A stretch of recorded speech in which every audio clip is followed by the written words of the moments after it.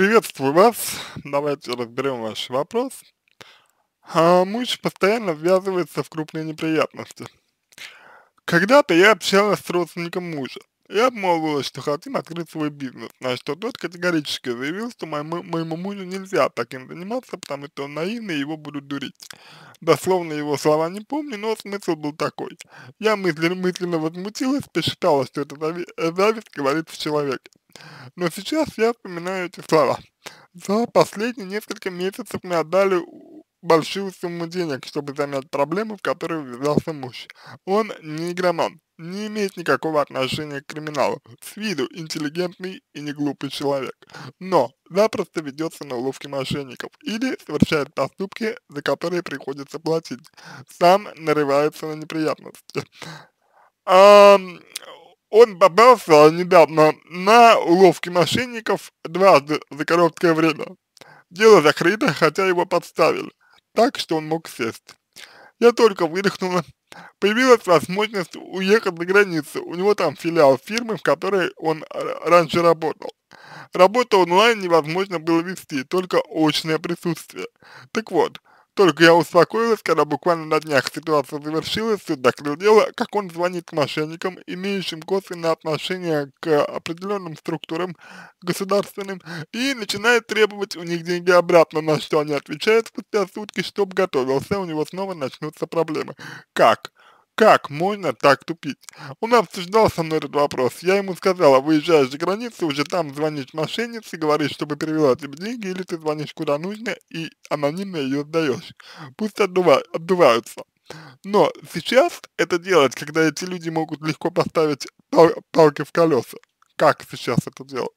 Муж как будто не понимает. Он живет в своих фантазиях, принципиально не прислушивается к мнению других. Друзей мужчин у него нет не считая старых сослуживцев в других городах. Я чувствую опустошенность и раздрай. В тех ситуациях я поддержала его, не стала добивать, но после этой, когда я снова с давлением своей 30 не могу расслабиться, ожидая проблемы от системы. Господи, что это за кошмар? Как найти в себе силы переключиться, как общаться с мужем, что мне делать? Я мужественно пережила прошлую ситуацию, но опять одно и то же мы в долгах. Нервная система дает сбои. Я просто не знаю, как себя поддержать. Сочувствую вашей ситуации. Э, ситуация действительно непростая, ситуация действительно тяжелая. Я бы, я бы, я бы даже сказал. Э, сочувствую вашей э, ситуации и сочувствую вам. С другой стороны, э, несмотря на то, что я вам сочувствую, я все же должен сказать несколько вещей. А, я думаю, что а, проблема заключается в надежде. То есть вы как бы надеетесь на то, что ваш муж изменится. Вы надеетесь на то, что ваш муж будет другим, что он э, ну, поменяется как-то и так далее. Я думаю, что основная проблема заключается именно в этом а вы не принимаете своего мужа таким, какой он есть. А, речь не идет сейчас о том, что вы должны его принимать. В том смысле, что, ну, не хотите его принимать, не надо.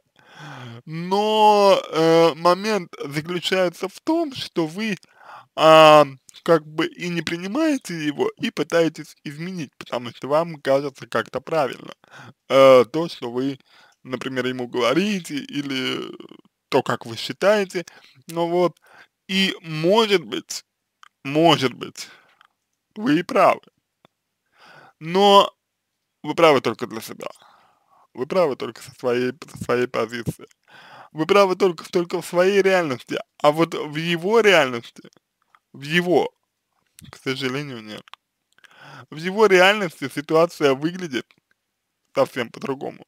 Не так, как с вами. Это очень важно понять. А, это вопрос личных границ, это вопрос того, что вы, а, условно говоря, готовы жертвовать собой а, ради, ну вот, ради мужа, да, вот. А, при этом одно дело, если бы вы его, ну, поддерживали бы, да, вот. То есть одно дело, если бы вы его поддерживали, одно дело, если бы вы как-то вот считали, ну, а, если бы вы считали, что он, а, ну, что он там прав, что он там, а, ну, правильно делает, а, ну, то, что, то, что делает, да, вот, это одно дело. И другое дело, совсем, совсем другое дело, заключается, конечно, в том, что вы-то с ним не согласны. То есть вы как бы, ну, вы считаете по-другому, вы э, не согласны с его, ну, позицией, да, у вас как-то вот, ну, э, у вас как-то э, свое мнение есть, понимаете? Вот, у вас свое видение есть, и это, ну, нормально, что у вас оно есть. Просто вы надеетесь э, своего мужа как-то вот переделать и не принимаете решения самостоятельно относительно своей жизни, к сожалению. Вот это, э, на мой взгляд, и является серьезной проблемой, потому что ваш муж не изменится, ваш муж будет таким, какой он, ну, вот есть, да, какой он, ну, вот, он будет таким, какой он, э, какой он сейчас, и неизвестно, э, поменяется он или нет. Будет ли он вести себя как-то, ну, по-другому или нет. А что если нет, да? То есть вы страдаете, вы страдаете от того, что не, э, что человек, человек не ведет себя так, как вы хотите. Понимаете? Ну вот, ну не ведет он себя так, как вы хотите. А он и не должен на самом деле вести себя так, как вы хотите. Он, он ведет себя так, как хочется ему. Хорошо это или плохо, не так, не так важно. Важно, что он это делает. Вот и все. А, и вы можете делать так же. Я бы сказал, вот, ну, в какой-то степени, я бы сказал, что ваш муж ам, зависим. Да, он не, он не наркоман, да, он там, как вы вот ну, правильно заметили, да, он там, не алкоголик, а, вот, он не громан и прочее, то есть это, да, это, ну, как бы это, ну, это безусловно. Но это не ну, не, не меня а, того факта, а, что он зависим. А, ну, ваш муж, я имею в виду, э, зависим. Он зависим просто не от э, чего-то такого, как бы сказать, э, ну, привычного. Он зависим больше от э, более такой, э, ну, непривычной истории. Понимаете, да? То есть он зависим от другого в этом смысле слова. К сожалению, опять же. Вот.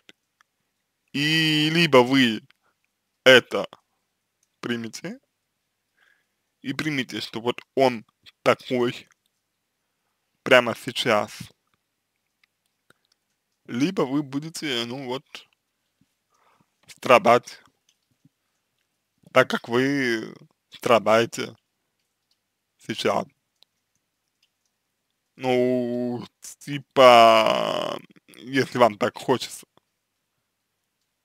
То есть я понимаю, что я понимаю, что вам,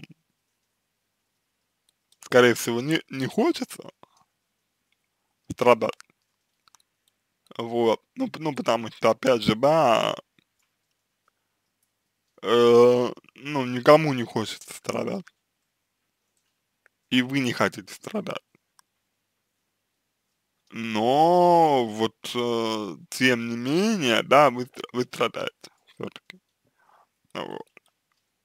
Э, только потому, что вот э, не можете принять э, ну, какое-то решение, да, не можете принять решение относительно, относительно того, вот, а, значит, ну, значит, э, что вам делать. А, собственно, ваше вот, э, ну, такое вот э, нервное, да, э, переживание, скажем так, оно связано как раз с тем, э, что вы беспомощны. То есть я сама решения не принимаю. Вот. Ну, как бы это, э, к сожалению, это история про э, то, что вы не доверяете себе, и у вас вот нет как бы, ну, таких вот э, личных границ, э, вот, между вами и мужем. А вот считаете вы себя с ним, по-видимому, единым целым, а вот, и это не так, это не так. Вы не, не одно э, целое со своим мужем, вы разные люди. Ну, и да, вам могло быть хорошо, вам могло быть э, лучше, да, ну, в смысле, вам вместе было хорошо, я э, понимаю, что вам могло быть хорошо вместе, а, но это не меняет вот того какого-то факта, э, что э, сейчас вам плохо. Вот. А, поэтому а, про то, как себя поддержать. На мой взгляд, а, то, как, то, как вы можете себя поддержать, заключается в том, чтобы принимать самостоятельное решение относительно своей жизни. То есть э, взять ответственность э, на себя за вот свою жизнь. Ну, вот, и самостоятельно просто принимать это решение. Вот, самостоятельно принимать решение относительно, относительно своей жизни. Э, не, не ждать, пока там, ч, э, ну, ч, э, человек, да, э, что-то решит, ну, что-то решит сам. Вот. То есть не ждать а, от него каких-то вот, ну, действий, да, а самостоятельно решение. Вот. А на мой взгляд, вы этого не делаете, то есть вы не принимаете этого, этих решений, потому что вот как раз, ну, боитесь, э, боитесь вот, не знаю, боитесь одна остаться, например, или, может быть, э, не уверены вы в себе, или, может быть, еще какой-то есть момент. Но так или иначе, так или иначе, э, сама по себе, на мой взгляд, да, э, ситуация не изменится сама по себе, ситуация, ну, она не изменится, она не способна измениться. А, вот. А, дело в том, что ваш муж, он а, может это делать, он может это делать, ам, потому что ему так хочется, то есть он имеет какую-то выгоду с этого. Вот, есть люди, которые вот э, хотят, ну, только вот преодолевать э, труд, трудности, то, то есть им э, вот э, э, им спокойно жить, да, не нравится. Есть, ну, опять же, к этому можно по-разному относиться, понимаете, можно, э, можно считать эту позицию неверной, а можно обесценивать ее и говорить, и сказать, что это, ну, тупость, дурость и вообще неправильно, что-то можно, так, так, так можно делать, это правда. Но это не меняет факта. Ну, то есть, по сути, ну, как бы вы вот э, реальный мир, да, не воспринимаете. То есть, вот вы говорите, что он живет в своих э, фантазиях. Ну, так а, по факту получается, что не только он живет в, в а, ну вот фантазиях своих, да, но и вы, вы тоже, вы тоже живете в э, фантазиях своих, вы тоже живете в своих, э, в своих э, фантазиях в смысле того, что э, ждете, что муж изменится. Вот. То есть, как бы, вот, что это, что это как не фантазии. Что это? Что это как не фантазии? Я не знаю. Понимаете? А, вот, поэтому я думаю, я думаю так, я думаю так вам а, можно ответить на вопрос, который, который вы вот э, задаете сейчас. Поэтому вам э, сочувствие, конечно, то, что вы оказались вот такой, ну, в такой ситуации непро непростой для себя. Э, сочувствие, но в то же время, как бы это ваша жизнь, вы сами ответственны за нее, за то, что происходит в ней. Никто больше не ответственен, кроме вас. Поэтому учиться надо брать ответственность. Сейчас вы находитесь в позиции жертвы, вот. Ваш муж это, сути, тот, кого надо спасать. Вот. А вы для него спаситель, для мужа. Вы его постоянно спасаете. И в этот раз вы его, скорее всего, спасете. То есть вот вы сейчас ушли в такую регрессию, э, немножко поднакопите силу, поднакопите энергии, э, ну, немножко остынете, может быть, и снова все вернется на, на круги своя. А, ну, скорее всего, потому что так работает система. А вы не просто так выбрали своего мужа, и не просто так у вас такая реакция идет, и это все не просто так.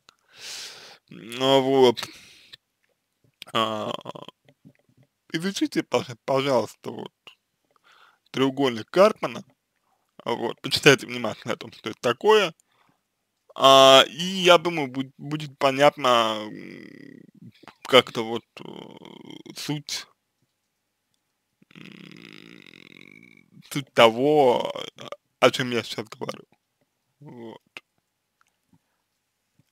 И после этого вам нужно будет, ну, вам нужно будет на психотерапию идти, потому что э, самостоятельно вы из этой ситуации выйти, ну, вот, скорее всего, не сможете. Вот, а, вот как-то как, -то, так. Э, то есть у вас э, вот э, даже вопрос, да, вот, он такой, он про жертвенность, то есть как, как, как себя поддержать. Как тут себя поддержишь, если вы оказались в такой ситуации, как себя поддержишь? То есть, ну, какие-то аффирмации использовать, то есть, типа, ну, убеждать, э, убеждать себя в том, что да, ничего, да, ну, ну ничего страшного, как бы, а, и, и из этого, ну, ну, ну вы, вы, выберемся, да, то есть, да нет, да, это так, ну, ну не, работ, не работает, А, ну вот. А, поэтому очень важно вам, а, на мой взгляд, э, для себя вот э, эти все вещи увидеть хотя бы. Вот. И спросить себя примерно следующее, а я-то чего хочу? То есть, ну, э, как бы, чего муж хочет, да, там, ну, плюс-минус, плюс-минус понятно, чего хочет муж, а я чего хочу. Э, вот э, вы говорите, да, там, ну, условно, э, хочу, ну, ну, спокойствия, вы говорите, вот. Вы говорите, значит, значит, хочу, ну, хочу спокойствия, да, хочу э, какого-то покоя, да, хочу уверенности какой-то, вот. Ну, вас э, в этом смысле можно понять. А что вы делаете для того, чтобы это спокойствие у вас было? Почему это спокойствие зависит от мужа? Вот. То есть, э, с одной стороны, вы можете сказать, что ну а как, если он мой муж?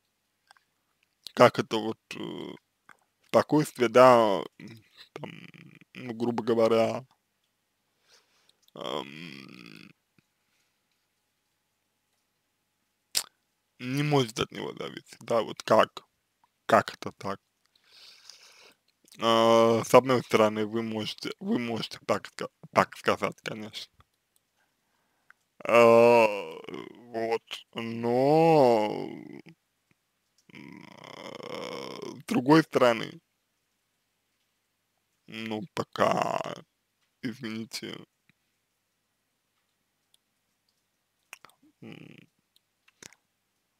ваше э, спокойствие, оно зависит от, от, от вас только, больше ни от кого оно не зависит, в принципе-то. Ну вот, поэтому тут такая история. А, то есть очень много, очень много, по факту, очень много зависит от того, а, насколько вы готовы, что называется, а, свою жизнь, да, а, ну, ну, как-то вот в свои руки брать. Вот. Хотите вы этого, можете ли вы это, а, вот. То есть, ну, вот такая какая-то история. А если, значит, ну, если э, стесняетесь, если боитесь, э, ну, вот, как-то это делать, да, ну, вот, ну, то есть я могу как-то вот, опять же, представить, да, предположить, что вы боитесь или что вас что-то останавливает там и так далее, ну, вот, то, опять же, а, э, с этим всем можно поработать, вот. А, то есть, ну, вот, какая-то вот такая история, я бы сказал, в, ну, вот, э, в данном случае, по крайней мере. А, вот. Как-то, как-то, как-то, э, как-то так, я думаю, можно вам, вам ответить на ваш вопрос. А, надеюсь, что вам это было э, полезно, надеюсь, что вам это было интересно. А, я хотел бы вот э, пожелать вам удачи, я хотел бы пожелать вам всего самого доброго, я надеюсь, что э, ситуация будет разрешена для вас. Э, самым лучшим образом, надеюсь. Вот, надеюсь, что вы, ну, э, найдете из нее выход, э, из, из, ну, из, э, э, из э, вашей ситуации. За обратную связь э, по моему ответу буду благодарен. Это позволит вам начать, начать над собой работу. А, вот. Э, желаю вам а, всего самого доброго. Обращайтесь.